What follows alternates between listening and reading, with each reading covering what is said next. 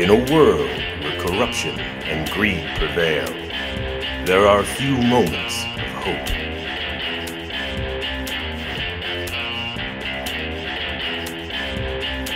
Only one festival can conquer the crushing force of apathy. This spring, be inspired, be enlightened, be moved. Come to the Global Issues Film Festival, May 7th.